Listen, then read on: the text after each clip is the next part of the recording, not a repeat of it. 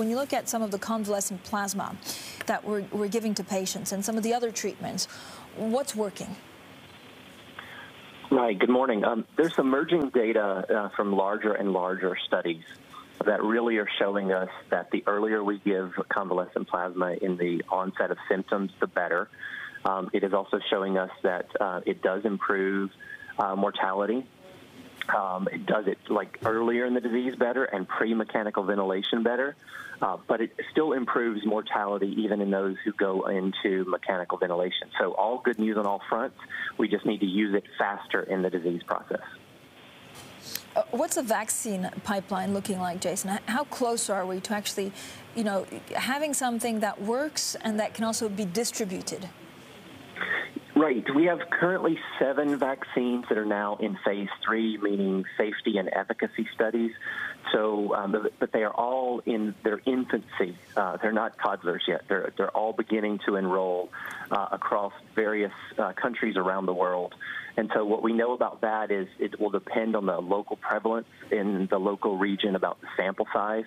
And so, we, we anticipate that they're going to enroll quickly and very quickly, uh, but but we are still looking at early next year at the earliest before we probably have the first uh, evidence of which vaccine might be rising to the top in terms of protection.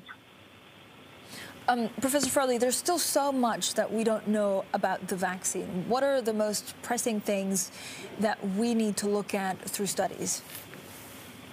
Right. So when we, as we roll these out into, you know, these phase three studies, the total number of doses that lead to produce the vast majority of people to have protective antibodies is really important. We think we know it from smaller studies, but these larger studies will first help us answer those questions. Is it one? Is it two? Is it three?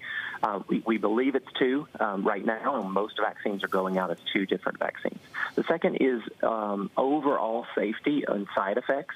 Anytime you go from a small number of like 25 or 50 patients into thousands and thousands, you see different side effect profiles, and we want to make sure we follow those very closely.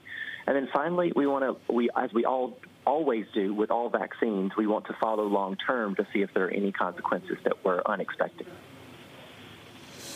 Eh, how, how, much of the population, do we know how much of the population actually, you know, has had COVID and developed antibodies?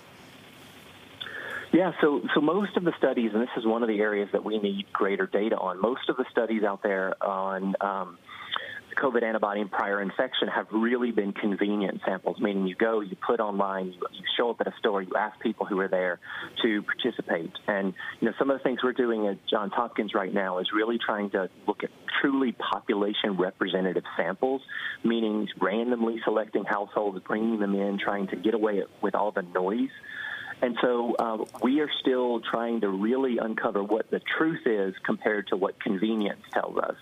Um, and, and, expediency is what convenience gets us. It allows us to find out an answer really quickly, but they can be biased oftentimes. And so what we really need now is a better estimation of what is tr- truth. Um, and we're starting those studies at Johns Hopkins uh, next week. Uh, uh, Jason, when you look at you know the, the, debate about opening schools and not opening schools, I know it in the U.S. it has to be state by state, depending if they're you, you know the number of cases are going up or, or down. But what do we know about how difficult it is to you know stop transmission amongst kids? Yeah, I think you know the CDC just reported a, a, a youth camp uh, in which all camp counselors and um, the children were required to be tested for coronavirus and be negative uh, uh, 12 days prior, sometime in that period prior to attending the camp. And what they've now seen is, despite the fact that they were tested and tested within 12 days, all tested negative before they arrived, within that 12 days, someone became positive and then subsequently resulted in large transmission in a seven day camp period for children. And what that really means, and, and if we translate that into what children are seeing in their school openings, we've already had in some jurisdictions who've opened children test positive and entire classes, and if not entire schools, have to go on quarantine out of the school. So we're looking at a pretty chaotic uh, period for children who are going back into the classrooms. Uh, as the, as people make decisions, get tested, potentially need to get retested, um, and then ultimately making decisions about whether or not to stay uh, in the class or to um, be quarantined.